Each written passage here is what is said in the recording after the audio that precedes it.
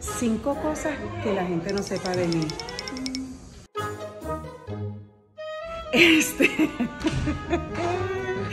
La primera, yo quería ser patinadora de hielo y no se me dio. Segunda, también yo quería trabajar en el parque de diversión de Disney como Blancanieves.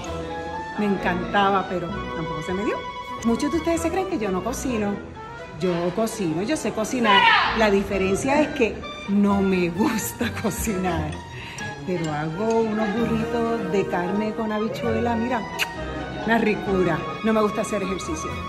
No, no me gusta. Me aburre muy rapidito, así. Eh, y la quinta, que este cuerpo no se mantiene con vegetales. Nada, es con comida criolla. Arroz, वहाँ से।